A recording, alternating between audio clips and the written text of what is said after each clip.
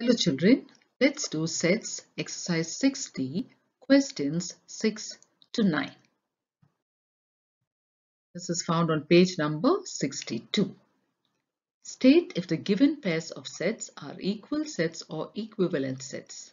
So we are going to continue to do types of sets.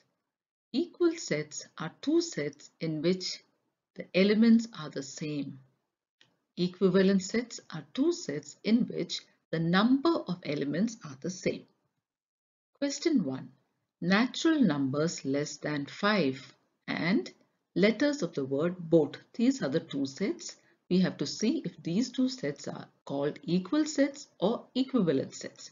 So let's write down in roster form the elements of the first set, natural numbers less than 5 and the elements of the second set, letters of the word both. So we get this 1, 2, 3 and 4 is the first set. BOAT is the second set. And as you can see, the elements are not the same, but the number of elements is the same. There are four elements here and there are four elements here.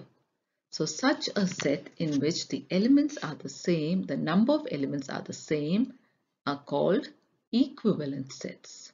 So only the number is the same, the elements are not the same. So since the number is the same, we call them equivalent sets. Second question. The first set is 2, 4, 6, 8 and 10 and in the second set we have even natural numbers less than 12. What are these even natural numbers less than 12? They are 2, 4, 6, 8 and 10. Now look at the first set and the second set. Can you see that the elements are the same? Such, such sets are called equal sets. If the elements are the same, they are called equal sets. Now, if you count the number of elements, the first set has five elements and the second set also has five elements. So they can also be called equivalent sets. Third one, the first set has these elements 1, 3, 5, 7 and so on. And the second set is a set of odd natural numbers. What are odd natural numbers? Odd natural numbers are 1, 3, 5, 7 and so on. Look at the first set and the second set. They have the same elements. So these are also equal sets. Next one. Letters of the word member is the first set and letters of the word remember belong to the second set. So let's write out the letters in the roster form for both the sets. So the first set we get M, E, B, R because we have not repeated the letters according to the rule. And second set from the word remember we got R, E, M, B. Now let's look at the letters and see if it's the same. I have M, here and M on the right side, E on the left and E on the right, B on the left and B on the right, and R on both sides. That means they have the same elements. So these sets are called equal sets. So let's write that down. They are called equal sets. Next question negative natural numbers and 50th day of a month. Now these are the two sets. Now look at the first set. Do we have negative natural numbers? All natural numbers are positive and they start from 1. So the first set is an empty set. Now second set, 50th day of a month. Do we have a 50th day of a single month? No. So that is also an empty set. So both these are empty sets so they are equal. We call them equal sets. Sixth one, even natural numbers and the second set is odd natural numbers. Let's write it down. Even natural numbers are 2, 4, 6, 8 and so on. Odd natural numbers are 1, 3, 5, 7 and so on. So if you look at these, you can see that the members are not the same but the number of elements in both the sets will be the same. So such sets are called equivalent sets. Equivalent sets. Question 7. State whether the following are finite or infinite sets. Finite sets are those sets in which the number of elements can be counted, whereas infinite sets are those sets where you cannot count because there are a countless number of elements. Question 1. Starting with 2 and ending with 800, this set has a limited number of elements, so it is called a finite set. This is a finite set. Second one, the dots indicate that the numbers are continuing in this direction. That means there is an unlimited number of elements here. So this is an infinite set.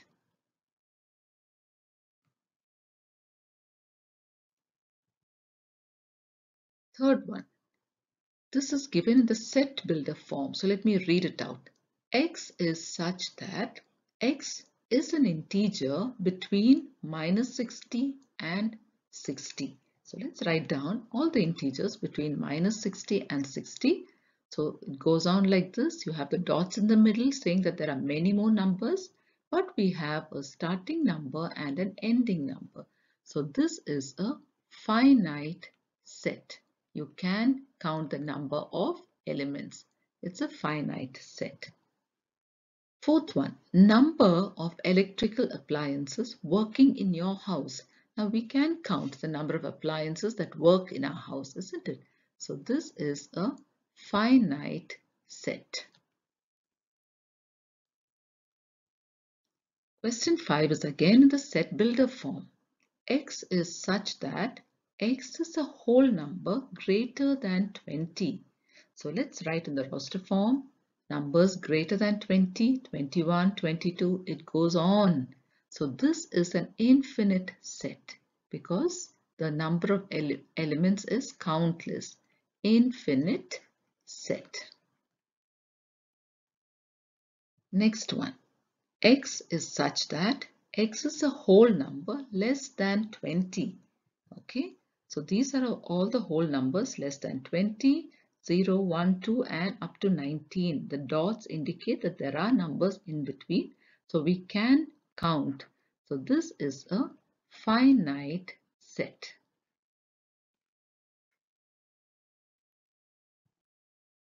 Question 8. For each statement given below, we need to write whether it's true or false.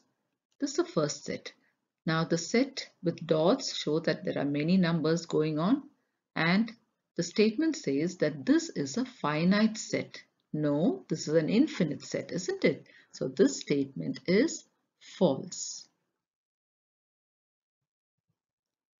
Second one. Now we know the starting numbers minus 32. Dots in between say that there are more numbers and we know the last number 16. But the statement says that this is an infinite set, which is false because this is a finite set. So this statement is false. Question 3 is in the set builder form. Let's read it. x is such that x is a natural number less than 1. Do we have any natural numbers less than 1? We don't have. So the statement says that this is an empty set, which is true because we don't have natural numbers less than 1. So that statement is true. Question 4 says whole numbers between 15 and 16 is equal to natural numbers between 5 and 6. What are the whole numbers between 15 and 16? Nothing. It's empty. And what are the natural numbers between 5 and 6? Again, nothing. It's empty. So is this equal? Yes. So this statement is true. Question 5. Odd numbers divisible by 2. Now are any of the odd numbers divisible by 2? 1, 3, 5, 7? No. So what will we get in the set? Nothing.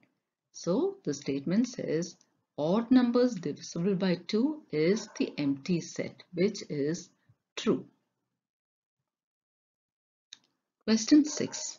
even natural numbers divisible by 3 is an empty set is a statement.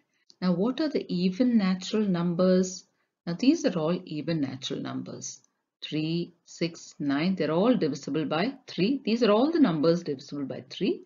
In this, what are the even natural numbers? 6 is an even natural number, 12 is an even natural number, but the statement is saying it is an empty set, which is wrong because there are many elements. 6 and 12 are two elements. So this statement is false.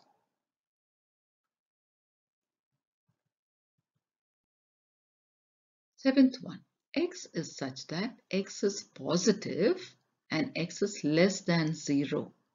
Now, numbers that are less than 0, are they positive? No, they are negative. So this is empty. And the statement also says that is the empty set. So that means that statement is true. Question 8. The dots indicate that there are many numbers this side and this side also we have dots, many numbers this side. That means it's an infinite set. But the statement says it's a finite set. So this statement is false. Question 9.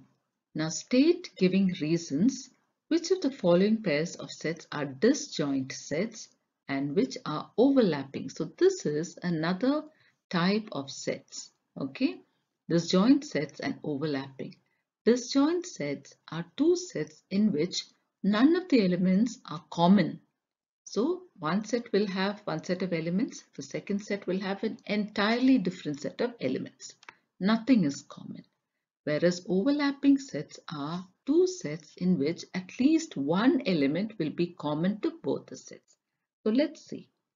So we have question 1, A and in set A they're talking about girls with ages below 15. Okay. And set B with girls with ages above 15 years. Now what kind of sets are these? Girls with ages above 15 and girls with ages below 15 are completely two different sets. You will not have any girl with age below 15 as well as above 15, isn't it? So there's nothing in common. So th these two sets are disjoint sets. And what is the reason? A girl cannot be 15 years, below 15 years and above 15 years also at the same time. So such sets are called disjoint. Nothing is common there. Second one, boys with ages above 20 years and set D, boys with ages above 27 years. Okay, now these two sets can be overlapping because Boys with ages above 20 years in set C, those boys can be 27 years also, isn't it? Some of them can be about 27 years. So we will have some boys common to both the sets. So these are called overlapping sets. And the reason is boys who are above 20 years can also be boys above 27 years. Question 3. Natural numbers between 35 and 60. So let's write it down. 36 up to 59. Natural numbers between 50 and 80. So that will be 51 onwards up to 79. Now what kind of sets are these? Are they disjoint or are they overlapping? Can you see all these numbers in red? Now it's there in the first set and it's there in the second set also. That means they are overlapping sets. Okay, so 53, 54, 55, 56, 57, 58, let's write, and 59.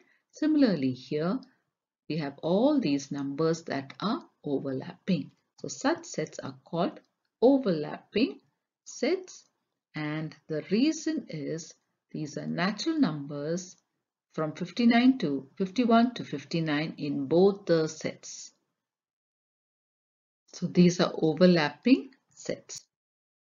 Question 4. Students of class 9 studying in the ICSE board is one set and students of class 9 is another set.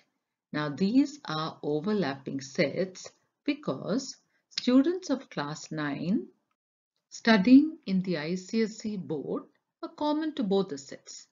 Okay, so these are overlapping sets. Next one, natural numbers that are multiples of 3 and less than 30. What are those? These are all natural numbers that are multiples of 3. Okay, starting from 3 onwards and less than 30. So we stopped at 27. Then we have natural numbers divisible by 4 and lying between 20 and 45. So these are the numbers uh, that are divisible by 4 and lying between 20 and 45. Now can you see the number 24 is common to both the sets. So that number is there in the first set as well as in the second step set. So they are called overlapping set because the natural number 24 is common to both the sets. The last one. Letters in the word Allahabad are A, L, H, B and D. Letters in the word Nainital are N, A, I, T and L and these are overlapping sets because the letters A and L, can you see, are common to both the sets. So when there are elements that are common to both the sets, they are called overlapping sets. When there is nothing in common, they are called disjoint sets. So children, with that we come to the end of exercise 6D. In our next video, we will do sets exercise 6E. Thank you children.